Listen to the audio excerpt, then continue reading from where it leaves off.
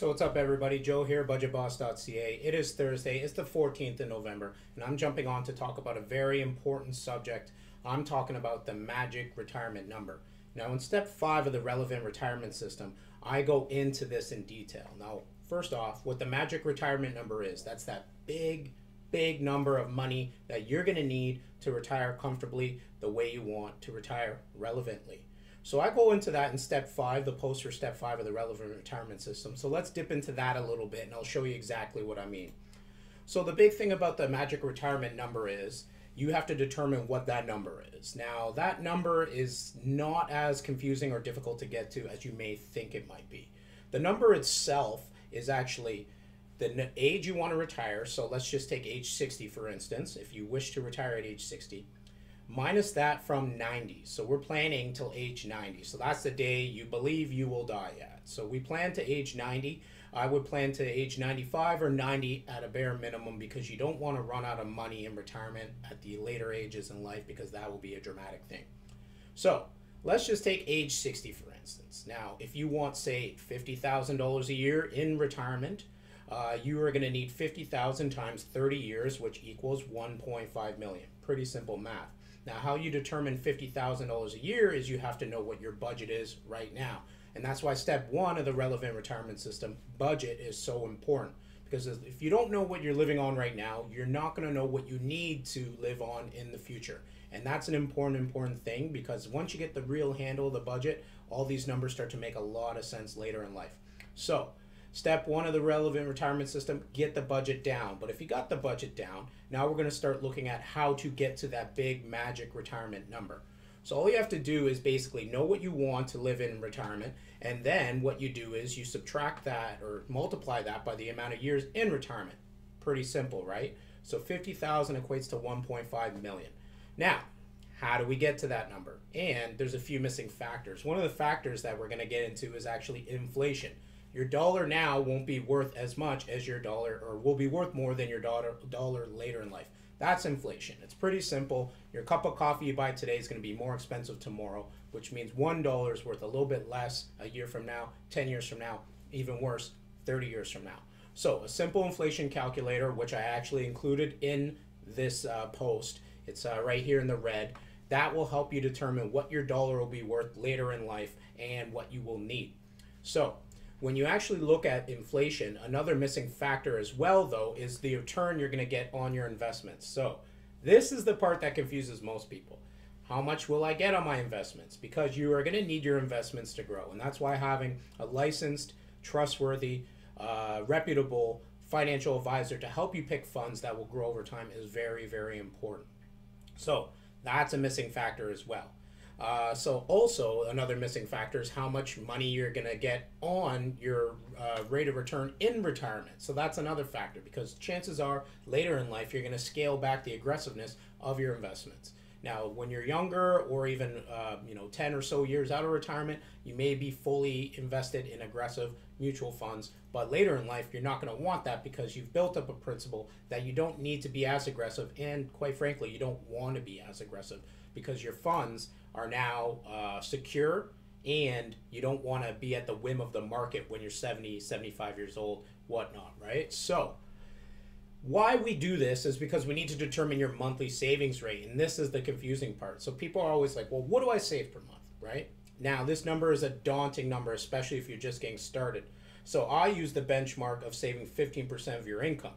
That's what dave ramsey says. I tend to agree but that number could be a big number when you're first starting off. So let's just say you make $50,000 a year, 15% of that, you're looking at $7,500 annually. $7,500 annually, $625 a month. For a lot of people who are making that much, saving $625 a month is very difficult, right? But here's the X factor. So you can work your way up to that. Start off with something as simple as 5% of your income. So if you knock that down, uh, 7500 you're looking at a third of that, which is $2,500 annually, looking a bit more than $200 a month. You can work your way up every year as you say get pay raises to bring yourself up to that 15% annual mark, which will get you where you want to be but you have to start somewhere. And that's why step two, getting out of debt, is so important because if you're servicing debt, that money could be used to saving for retirement. So that's an important thing. Uh, when I look at also $625 a month, a big X factor with that is do you have a company match? So, for instance, if your company is matching you up to say 5%, that will knock down a huge portion of your monthly savings rate. So, for instance, if you can only do 10% savings and your company is giving you 5 that's another way to save, right? If there's a partner in it with you, that helps as well. So, these factors are all very important. Now, when we talk about annual returns, if we're uh, equating a uh, 7% return versus an 8% return, or a 9% return, or even a 10% return, these factors also help you get to that savings rate a lot better or a lot higher uh, and a lot sooner in your life than if you were, say, getting a 3 or 4% return. And that's why it's so important to be invested in the right things. And now, a lot of times, people aren't getting those kinds of returns because the person that they're dealing with isn't helping them get those kinds of returns. You have to make sure that you're invested for the long term in growth stock mutual funds. I like the four categories that Dave Ramsey says uh, international, uh, growth, growth and income, and aggressive growth. Those to me are the way to go. I uh, build portfolios with my clients to help match that sort of system, and depending on where they are and their risk tolerance, of course, right?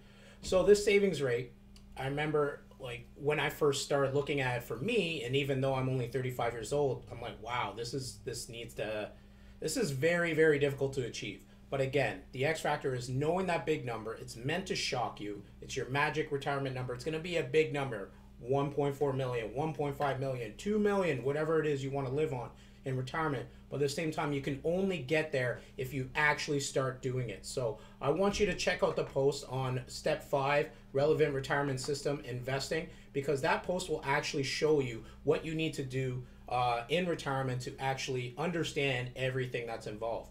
Another X factor that I didn't talk about was government benefits, right? So if you're receiving government benefits and retire, so that's why it's important to completely understand them. In Canada here, Old Age Security, OAS, or Canada Pension Plan, those two, CPP, OAS, are going to help you get to that uh, relevant retirement benchmark. So if those are giving you say fifteen to twenty thousand dollars a year, now you only need to come up with thirty, right? So that's why it's fully important to understand all these things. And I go over all of them in the relevant retirement system step five, investing. And the reason I do that is because a lot of people just don't really know exactly what they're going to need in retirement, exactly how much money uh, they have coming in or need to have going out to save for retirement. And I think that's important. So check out step five of the relevant retirement system. It's tagged in the post here underneath, and I want you to see exactly what it means to be investing for retirement because reti- uh, oh, sorry, excuse me, investing for retirement can be daunting. It can be difficult, it can be confusing, but it really doesn't have to be. All you have to do is really put your money in, know what you need to put in, set it, forget it, and actually make sure you got the plan in place from the get go, and then monitor. It's like working out. Once you've built the muscles, you just keep toning and you don't let it slide, and that's about it. So I want you guys to have a great day. Check out the post, and I hope, I hope you brave this cold, cold weather and uh, enjoy yourself on this beautiful Thursday. Peace.